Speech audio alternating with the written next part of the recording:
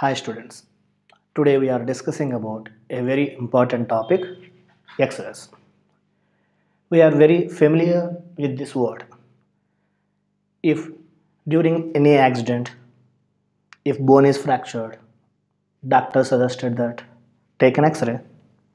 So we are now knowing about who is invented the X-ray, what are the properties of X-ray, how the X-rays are generated. X-rays are invented by Roentgen. Let us see about the properties of X-rays.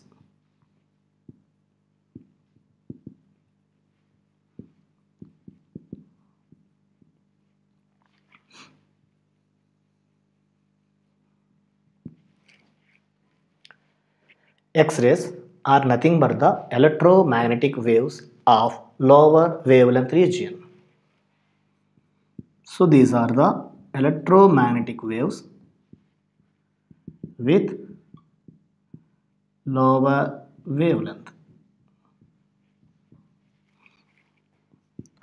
The wavelength region of X-rays are lying in between the 0.01 angstrom units to 100 angstrom units. So is these X-rays are visible? Let us see the electromagnetic spectrum.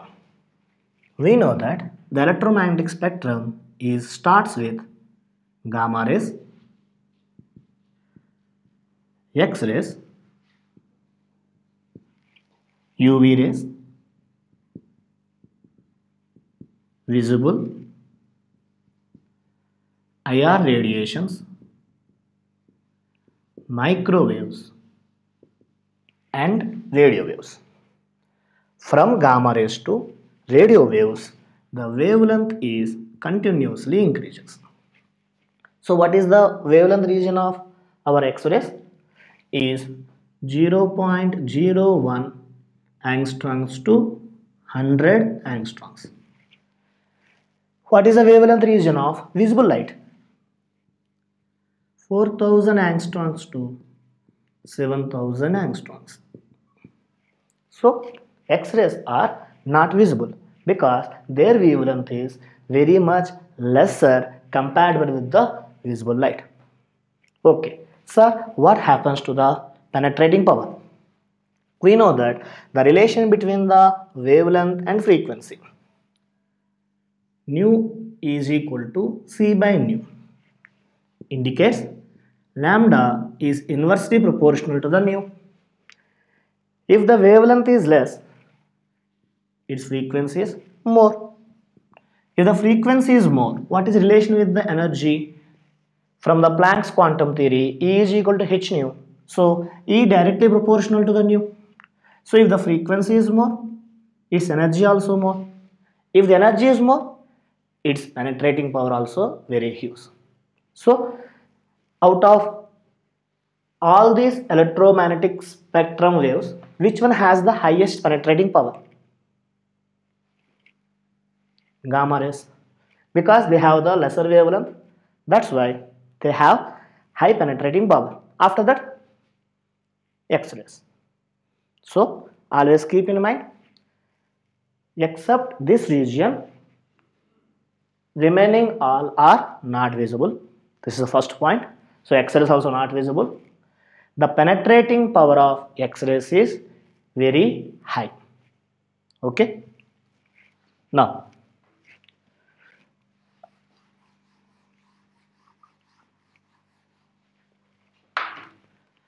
next point.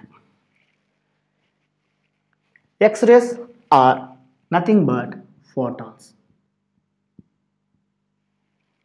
Photons. Photons are nothing but neutrally charged. So there is no charge on the photons. Whenever there is no charge, if you apply electric field or magnetic field, these X-rays are not deflected because charge is not there that's why there is no influence of electric or magnetic fields. And in electromagnetic spectrum, everything will be traveling with the speed of the light. So X-rays also traveling with the speed of the light. What is the value of speed of the light? 3 into 10 power 8 meter per second. So they are always traveling with the speed of the light and they causes fluorescence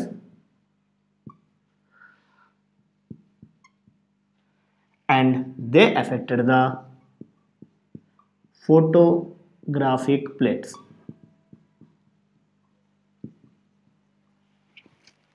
So these are the major properties of X-rays. One more time. X-rays are nothing but electromagnetic waves with the lower wavelength. Their wavelength region from 0.01 angstrom units to the 100 angstrom units. Generally, they said in the order of 1 angstrom unit. Okay. And here, if the wavelength is less than 4 angstroms, these are named as hard X-rays. Because lesser wavelength has more penetrating power and the wavelength is greater than the 4 angstroms lies below the 100 angstroms. These are named as soft x-rays. Next one.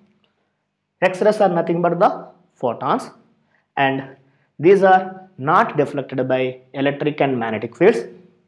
X-rays are traveling with the speed of the light and X-rays always causes fluorescence. Fluorescence means some scintillations are observed on the zinc sulfide screen. And finally, they are always affected the photographic plates. Okay. Now, we are discussing about the production of X-rays with the Coolidge tube.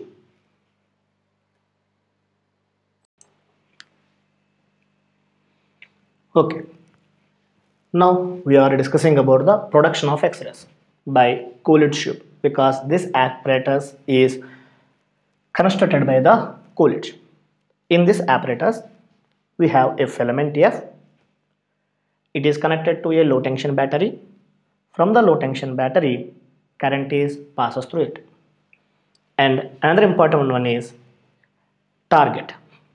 Target is connected to the carbon rod and in between the filament and target we are applying some potential difference V. All these are placed in the hard glass tube. This is always evacuated. Now let us see what happens here. If you send current to the filament then filament is getting heated up due to thermionic emission the electrons are emitted from the filament. Now these electrons having negative charge. Now I am applying to this one is positive charge. So it is acts like a anode here.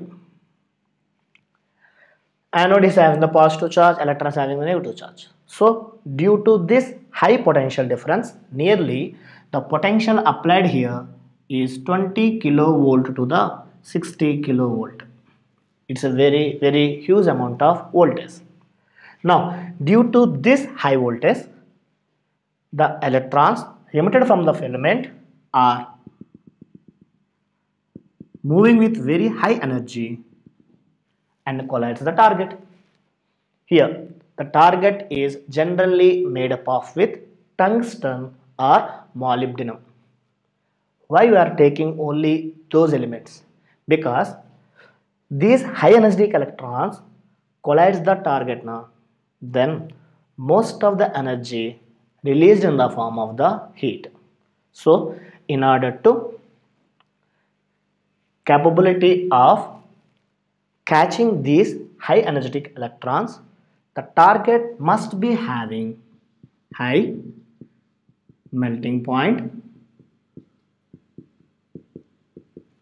and high atomic weight. Due to this reason, we are always target is taken as tungsten or molybdenum. Okay. So, from filament due to battery some current is passes through it due to the thermionic emission electrons are released. These electrons are accelerated by means of this applied potential. The fast moving electrons collides the target material. Okay in this from the target material we can get the x-rays. These x-rays are coming outside from a window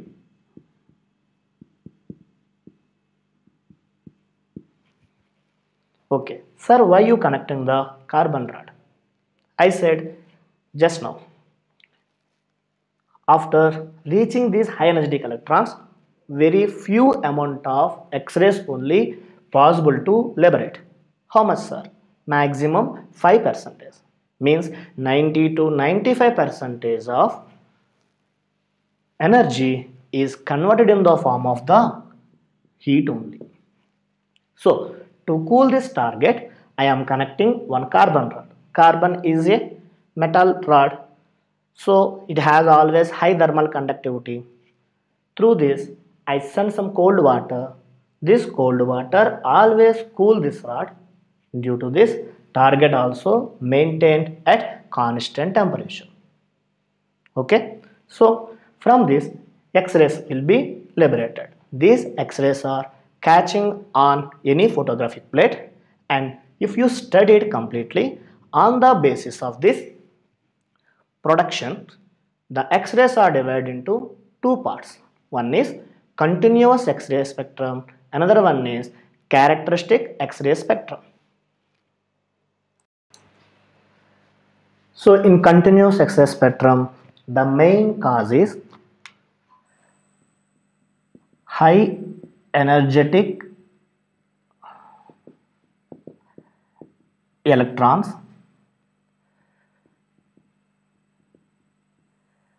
strikes the target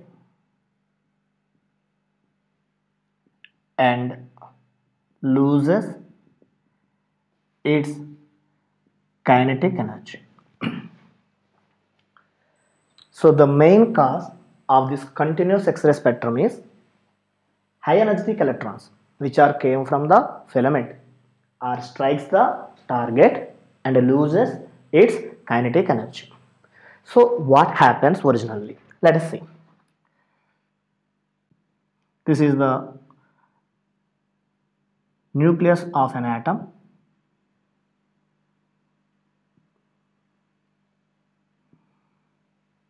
And these are the orbits. Now high energetic electrons. I named as projected electrons. They have very high energetic. That means they have the kinetic energy half mv square here. Now whenever these electrons are coming towards the nucleus nucleus nucleus has the positive charge. And around the nucleus there is a very high strong electric field is there electron charge is negative, nucleus charge is positive. Negative and positive attract each other. So these electrons are deflected. Nothing but their velocity will be changes. So whenever the velocity changes, they are decelerated and they continue their path like this. Whenever deceleration occurs, loss of energy will be takes place. This loss of energy emitted in the form of continuous X-ray photon.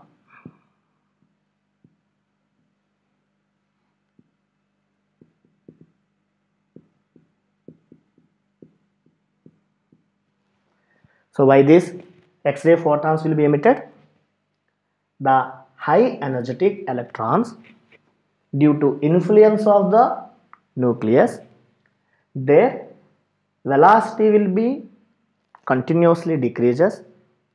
The loss of kinetic energy is emitted in the form of X-ray photon. So here the velocity is not equal to v, it may be v dash. So the kinetic energy here is taken as half mv dash square. So what we said? The difference in the kinetic energy emitted in the form of X-ray photon.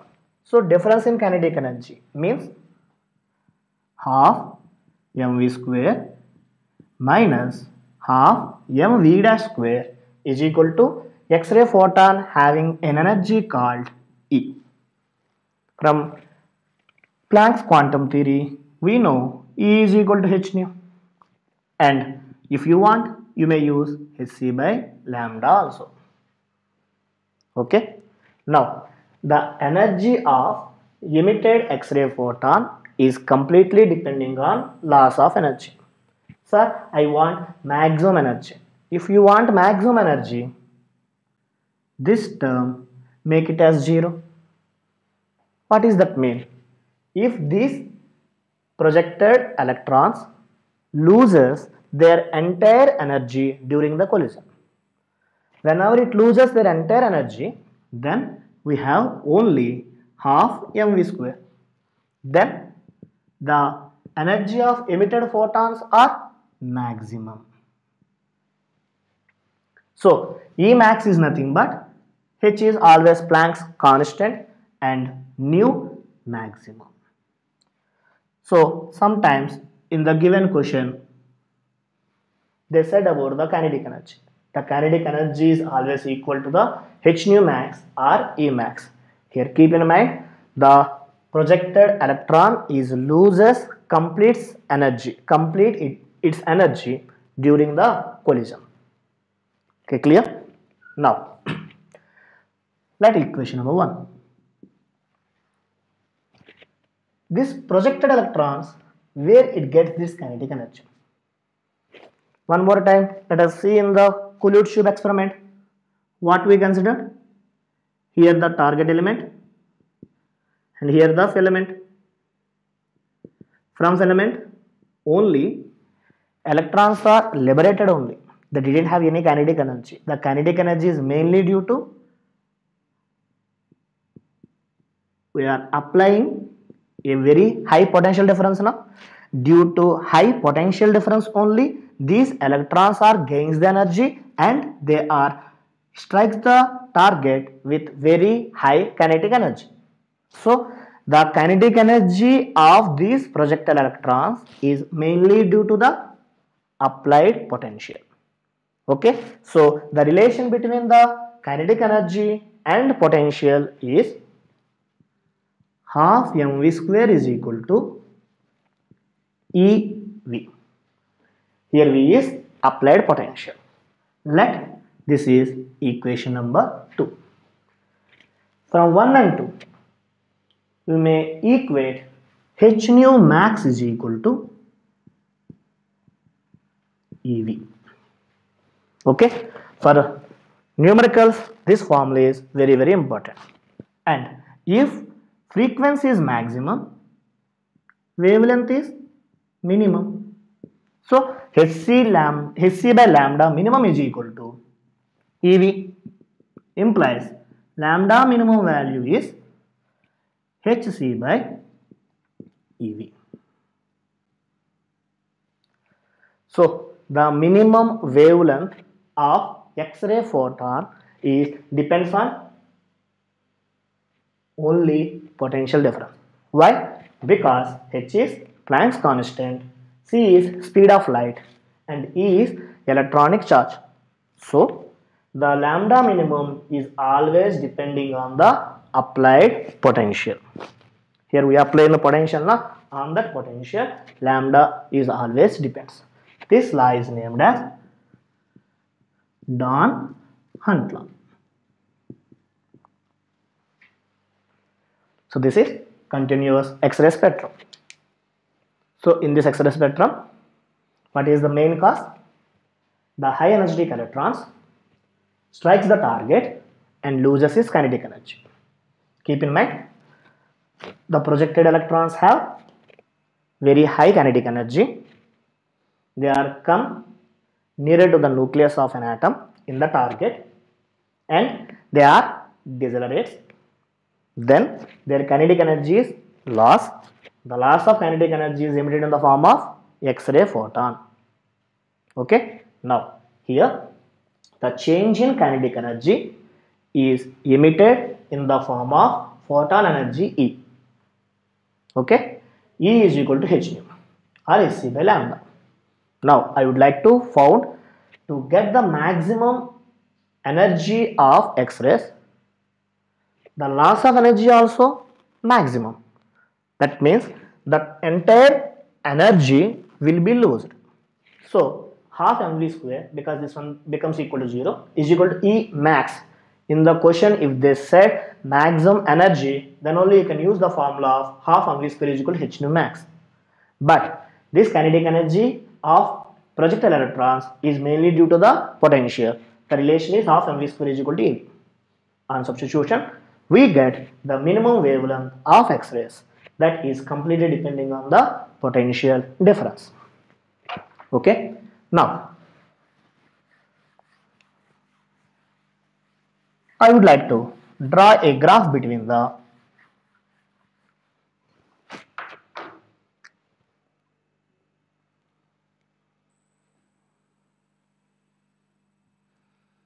wavelength of X-rays and intensity of X-rays.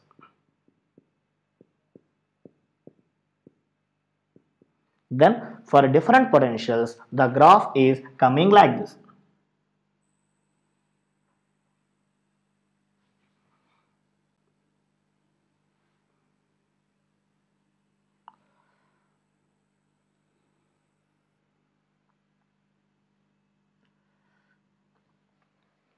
Are you observed now? Here, the maximum wavelength is not touches this wavelength axis. Because if lambda what is the formula for lambda lambda is equal to hc by e. During collision it does not emits any photon. If does not emits any photon means does not convert into the energy now. So it becomes equal to 0 then anything by 0 nothing but infinity or not. That's why the maximum value of wavelength is always infinity. Don't touch us this axis. Here this is the minimum wavelength. Minimum wavelength formula hc by ev. So minimum wavelength is always depending on the potential. So if the potential is increases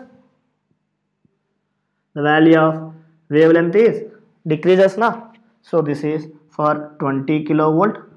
This is for 30 kilovolt and this is for 40 kilovolt. So if voltage is increases the corresponding minimum wavelength value decreases. Okay? And next let us see about the wavelength corresponding to the maximum intensity. This is having the maximum intensities in the graph and this point and this point. Let us verify these points are moving towards the lower wavelength sides. So the wavelength corresponding to the maximum intensity is always shifted towards the lower wavelength side. These two points i understood from this graph. Okay? So on the entire experiment explanation of the continuous X-ray spectrum, it's very clearly understood. The continuous X-ray spectrum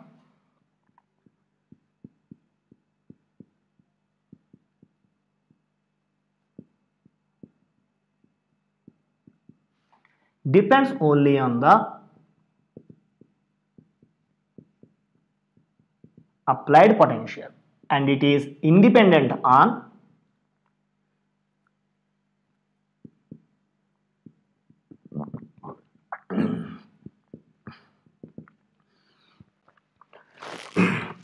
target material. So, continuous has to be wavelength. It depends only on the applied potential and it is independent on the target material. This is about continuous X-ray spectrum. For numerical purpose, we are using equation 1, equation 2, equation 3 and this is equation number 4. Please keep in mind all these formulas. Then the numericals related to the continuous X-ray spectrum are very very easy for us.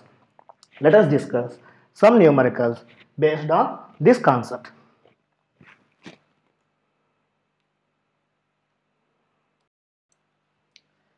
Let us see the first numerical based on the continuous X-ray spectrum. Here, he was asking a question. Find the maximum frequency of X-rays emitted by an X-ray tube operating at 30 kilovolt. So they given the potential. They are asking frequency. Is there any relation between those two? Yes, I have one relation. What is the relation? EV is equal to H nu. He was asking maximum frequency na? H nu maximum. So what is the value of nu max now? Nu max is equal to EV by H. What is the value of electronic charge? 1.6 into 10 power minus 19 coulombs and how much potential is applied? 30 kilo means 10 power 3 by h. h means Planck's constant. The value of Planck's constant is 6.625 into 10 power minus 34. So calculate this. This is 360 is 48. 48 by 6. It's nearly 7 point something. So 7.2 into this minus 34 will be moving to the numer numerator. Then it becomes plus 34 plus 3 37 37 minus 19 10 power 18 the units of frequency are second inverse or h. So this is the way we can get the answer for the given question. Verify. Asking maximum frequency to get the maximum frequency they given potential difference that's why we are taking the formula EV is equal to h nu max. I substitute the value of electronic charge and Planck's constant and the value of potential here. I got the answer. Okay? Understand? Let us we discuss about the next numerical. The second numerical is an X-ray tube is operated at 20 kilovolt. Find the cutoff wavelength of X-rays emitted. Cutoff wavelength means minimum wavelength. What is the formula for minimum wavelength we got? Lambda minimum is equal to Hc by Ev. Do you know all the values of Hc and E? And given the potential value now, substitute all those values, we can get the wavelength or not. Okay. Then what is the value of H? H we know that 6.625 into 10 power minus 34 joule second. What is the value of speed of the light? 3 into 10 power 8 meter per second and the value of the E is 1.6 into 10 power minus 19 coulombs. I think all these three values are always constant now. If they are all constant, if you substitute, then I have a shortcut formula to find the value of wavelength easily by taking all the constant values then I got a formula called 12400 by EV sorry energy in electron volts then I got the answer of wavelength in angstrom units. So if the all options are in angstrom units or nanometers, then only this formula is applicable. But always keep in mind energy must be in electron volts only. Otherwise, this formula is not applicable. Go to the general formula. After substitution of H, C and E, given value of V, you got the wavelength. Otherwise, this is a shortcut way. Better, you can use this formula, you can get the answers very easily. Let us see what is the value here. 12,400 and what is the voltage they given 20 kilovolt 20 kilovolts means 20 into 10 power 3 so 4 zeros 2 zeros are cancelled then I got the answer called 2 6 are 2 2s are so 62 into 10 power minus 2 62 into 10 power minus 2 means 0.62 angstrom units this is the value of the lambda minimum so shortcut formula is always useful to get the answer very easily. Okay. So if they, in the given question, they said operating voltage value 20 kilovolt and asking cutoff wavelength that is nothing but lambda minimum value asking. We have a formula lambda minimum is equal to HC by EV. H, C, E always constant values. And we also you know substitute you get the lambda minimum. But it takes more time to solve this. Use this shortcut formula. But always keep in mind lambda in angstrom units only you can get the answer. And the energy must be in electron volt only. Okay? Now we are discussing the third numerical and this is a very important numerical for the NEET please properly see an X-ray tube operates at 20 kilovolt. A particular electron loses 5 percentage of its kinetic energy to emit an X-ray photon. Find the wavelength of corresponding photon. Pause the video and try this numerical because it's a very very important model. Now see the solution. What are they given? They given the operating voltage 20 kilovolt. If you know the applied potential, I have a relation between the kinetic energy and applied potential. That is kinetic energy is equal to the EV. So E into what is the potential I apply? 20 into 10 cube volt. E will be taken that side. Then 2 into 10 power 4 okay 20 into 10 cube EV this is the total kinetic energy is this total kinetic energy is used in this emission of X-ray photon no why because he said that particular electron loses only 5% of its kinetic energy now. This is the total energy. So out of this total energy, how much of energy will be converted in the form of X-ray photon?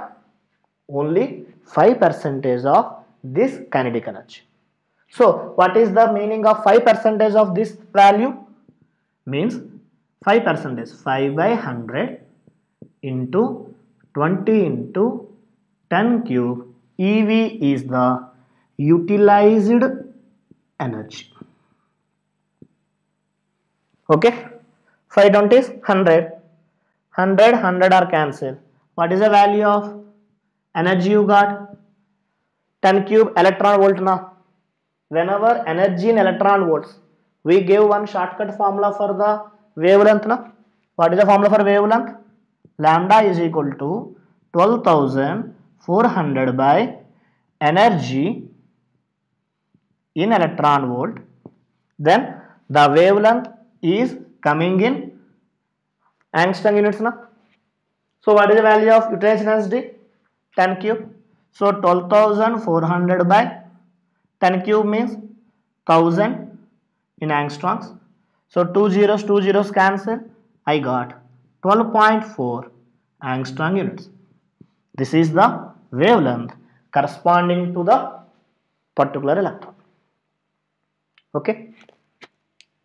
So in this way the questions asked from the continuous x-ray spectrum. I think i hope you understand this concept. In the next video we are discussing about the characteristic x-ray spectrum. Thank you